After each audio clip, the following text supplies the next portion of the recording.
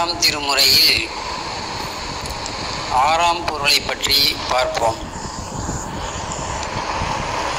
ஆறாவது அறிவாகவும் அதனை எடுத்துக்கொள்ளலாம் இந்த உலகத்திலே ஐந்து பொருட்கள் உண்டு என்பதை நம்முடைய விஞ்ஞானத்தில் பல நூற்றாண்டுகளுக்கு முன்பே சொல்லப்பட்டது. அதாவது மண் நீர் நெருப்பு காற்று ஆகாயம். இதுக்கு பஞ்சபூதம் என்று சொல்வார்கள். ஐந்து பொருள். இந்த உலகத்தில் உள்ள ஒவ்வொரு பொருளும் இந்த ஐந்து பொருள்களில் ஏதோ ஒன்றினாலோ அல்லது அதன் கலவையினாலோ ஆக்கப்பட்டது தான் பஞ்சபூதங்களால் அடங்கியது தான் இந்த உலகம் முழுவதுமே. இதில் ஆகாயம் என்ற பொருளை வந்து வெற்றிடமாகத்தான் விஞ்ஞானமே கருதி கொண்டிருந்தது. சமீப காலம் வரையில். ஆனால் நமது விஞ்ஞானிகள் அதை வந்து ஒரு பொருளாகவே சொன்னனர். ஆனால் ஈன்ஸ்டீன் தான் வந்து அதை வந்து முதன் முதலாக அதை பொருள் என்று டிக்ளேர் பண்ணுறார் இட் இஸ் ஏ மேட்டர் அப்படின்னு டிக்ளேர் பண்ணுறார் அந்த வெற்றிடம்னு நினச்சிக்கிட்டு இருந்த அந்த ஆகாயம் வந்து வெற்றிடம் கிடையாது. அதுவும் ஒரு பொருள். அந்த பொருள் வந்து கருவுடி நேச்சர் அப்படின்றார். அதாவது இப்படி சாய்ந்த ஒரு கோடு போட்டோம்னா கரு கருவுன்னு பேர் அதுக்கு பேர் கருவுடி நேச்சர் அப்படின்றார். அது மட்டும் இல்லாமல் அது ஒவ்வொரு நிமிடமும் வளர்ந்துக்கிட்டே இருக்குதுன்றார். அப்போ இது ஒரு இடத்துலேருந்து வளர்ந்துக்கிட்டு இருக்குதுன்னா அந்த வளர்கிற இடத்துல என்ன இருக்குது? இந்த வெளியே வளருதுன்னா அந்த வெளிக்கு அந்தாண்ட என்ன இருக்குது? அதுவும் ஒரு வெளியா?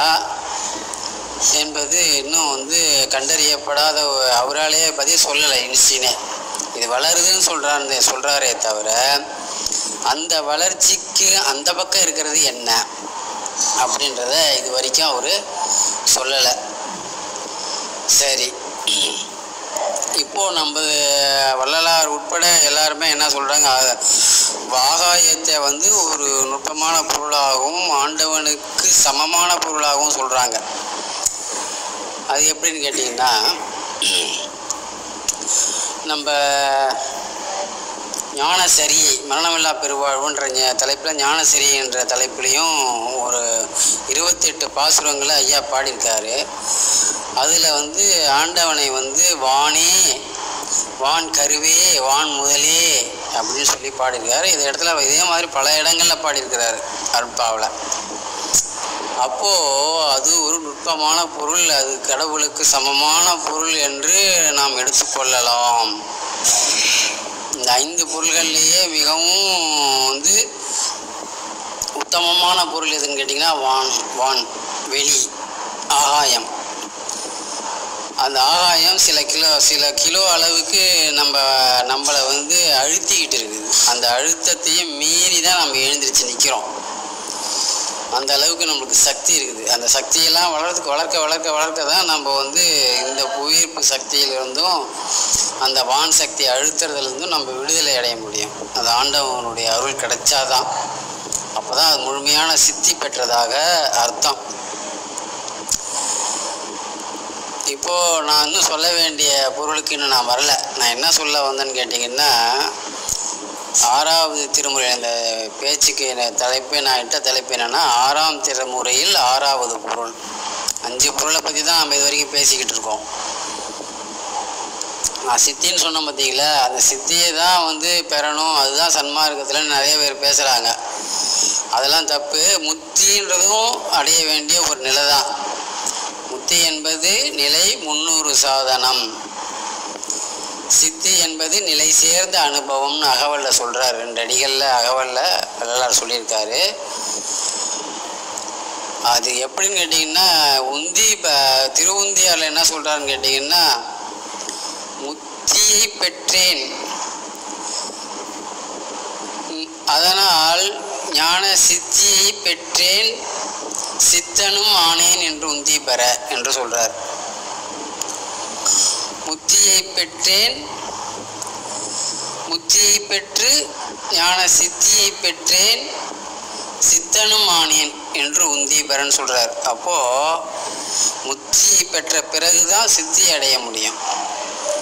அப்போது முத்தியை வந்து நம்ம ஒதுக்கி வைக்கக்கூடாது அதை பார்த்து பயப்படக்கூடாது. அது என்னமோ ஒரு சமயத்தில் சொ சொல்லப்பட்ட சொல்லு. அதுக்கும் சன்மார்க்கத்துக்கும் சம்மந்தம் இல்லைன்ற மாதிரி பேசுகிறாங்க அது கிடையாது. இந்த முத்தி சித்தி எல்லாமே இந்த ஆறாவது பொருளை அறிந்தால்தான் அடைய முடியும். அப்படி என்ன அது ஆறாவது பொருள்? சூட்சமான பொருள்.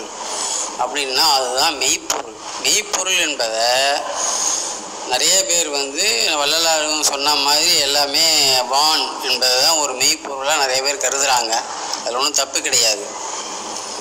அதே போல் ஜோதி தீபம் ஏற்றி வச்சு வணங்குறோம் இல்லைங்களா? அந்த ஜோதியும் ஒரு மெய்ப்பொருள்னு சொ நிறைய பேர் சொல்கிறாங்க அதிலும் ஒன்றும் தப்பு கிடையாது.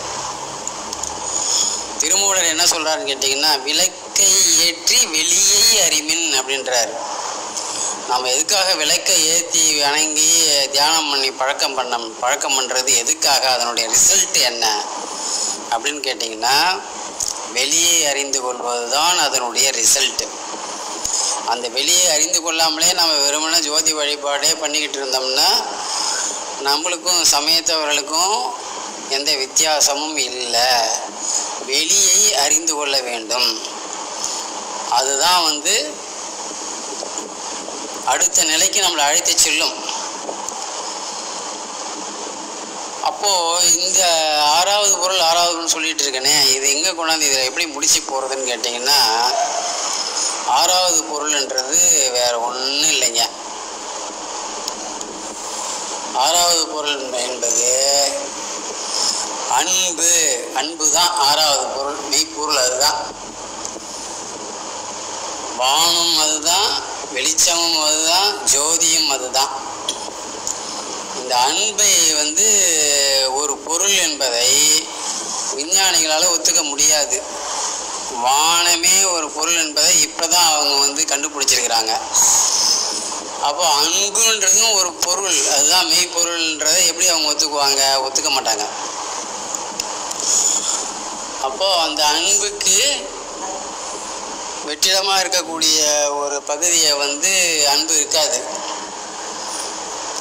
உயிர் என்ற ஒரு பொருள் அங்கே வந்துச்சுன்னா தான் அங்கே வந்து அன்புக்கு வேலையே. உயிர்னு ஒரு தோன்றின பிறகு தான் அன்பே தோன்றும். அப்போ வந்து திருமூலர் திருமந்திரமும் அன்பை பற்றி சொல்கிறாரு திருவள்ளுவர் அன்பை பற்றி பல இடங்களில் சொல்லியிருந்தார் அன்பிற்கும் உண்டு அடைக்கும் தாழ் அப்படின்றார். அன்பும் சிவமும் இரண்டு என்பர் அறிவிலர் என்றார். அந்த அன்பு தான் கடவுள். அன்பே சிவமாவது ஆறும் அறிகிறார். அன்பே சிவமாவது ஆறும் அறிந்த பின் அன்பே சிவமாய் அமர்ந்திருந்தாரே அப்படின்றார். இப்போ இந்த அன்பு தான் வந்து ஆறாவது பொருள். இந்த பொருளை உணர்ந்தாதான் நீங்கள் முத்தியையும் அடைய முடியும் சித்தியையும் அடைய முடியும் வெளிக்குள் வெளியையும் கடக்க முடியும். வெளிக்குள் வெளிகடந்து சும்மா இருக்கும் சுகமும் இந்த அன்பினால் தான் வரும். இந்த அன்பை வந்து இந்த உலகத்தில் வந்து காதல் என்றும் நட்பு என்றும் பாசம் என்றும் பந்தம் என்றும் இன்னும் பல பலவாறான சொற்களில் இதை வந்து கூறுவார்கள். எல்லாம் ஒரே பொருள் தான் ஐயா வந்து கடைசியாக என்ன சொல்கிறார் தயவுன்றார். நாம் வந்து எளியவர்கள். நம்மளை விட எளியவர்களையும் ஏழை எளியவர்களுக்கு மீதும் காட்டுகின்ற இரக்கத்திற்கு பெயர் தயவு. இந்த சிறிய தயவை கொண்டு பெரிய தயவை நாம் பெற்றுக்கொள்ள வேண்டும். எப்படி சிறிய நெருப்பினால் பெரிய நெருப்பை ஏற்றிக்கொள்ள முடியுமோ அதே போல சிறிய தயவினால் பெரிய த ஆண்டவருடைய தயவு ஆண்டவருடைய தயவு என்பது கருணை. நாம் ஆண்டவருக்கு செலுத்துவது அன்பு ஆண்டவர் நமக்கு திருப்பி செலுத்துவது கருணை. இந்த சிறிய தயவை கொண்டு பெரிய தயவாகிய கருணையை நாம் பெற்றுக்கொள்ள வேண்டும் அப்படின்னு சொல்லி ஐயா பேருபதேச பேருபதேசத்தில் முடிக்கிறார். இதுதான் ஜீவகாருண்யம். இந்த ரெண்டு சொல்கிறார் இல்லைங்களா? ஜீவகாருண்யம் சக்தி விசாரம். இந்த ஜீவகாருண்யத்திற்கு அடிப்படையாக இருக்கிறது எதுன்னு கேட்டிங்கன்னா அன்பு. நம்மளுடைய மனதை வந்து உருக்கமாகவும் அன்பாகவும் சதா சர்வகாலமும் வைத்துக்கொண்டே இருக்க பழகிக்கொள்ள வேண்டும். அதற்காகத்தான் ஜீவகாருண்ய ஒழுக்கம் வலியுறுத்தப்பட்டது. இப்போ ஐயா வந்து அன்பை பற்றி என்ன சொல்லுவார்ன்றதை நம்ம கேட்டுட்டு இந்த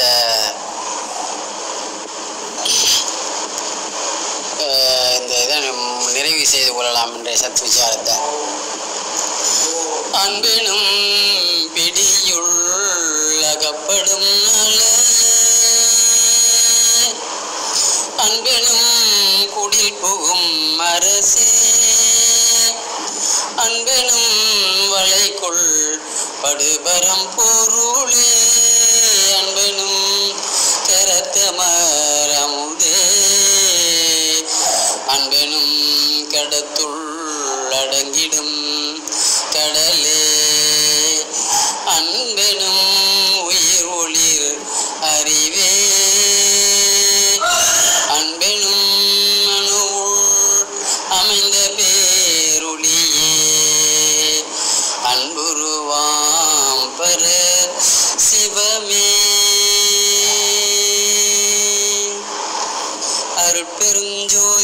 அருட்பெருஞ்சோதி